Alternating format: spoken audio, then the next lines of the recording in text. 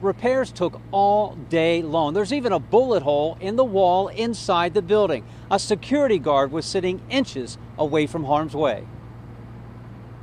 Army veteran Lloyd St. Rose faces attempted first degree murder and other charges following a shooting spree and arson over the weekend. Two fire engines, um, police, uh, ambulance. It was a whole lot of stuff.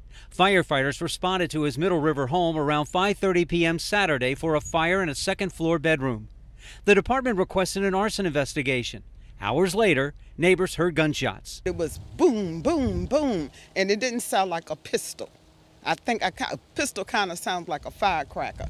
This sound, um, you could hear like it's coming through your house. Police say no one was hurt.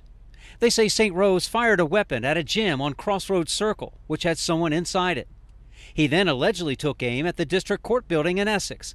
A security guard was inside. Court was closed Monday for repairs. I wish they would at least like gave, given the people who were scheduled to come in a call or something. I had to leave work, obviously. Police had St. Rose surrounded early Sunday morning on a bridge over Loch Raven Reservoir.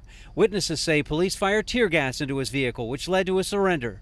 Police requested St. Rose undergo a psychiatric evaluation. It seems like a sad situation. He going through something tough and you know, it was a small inconvenience to us today, but I can only imagine what he might be going through. On his Facebook page, St. Rose writes he believes his family is under surveillance and someone put a monitoring device on himself and a family member. Get help. Talk to somebody. Talk to your friends. Talk to anybody. It's not something you should be ashamed of. If you need help, ask for help. Swallow your pride.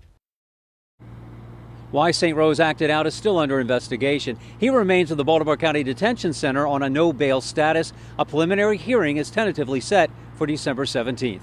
Reporting live from Essex, David Collins, WBAL TV 11 News.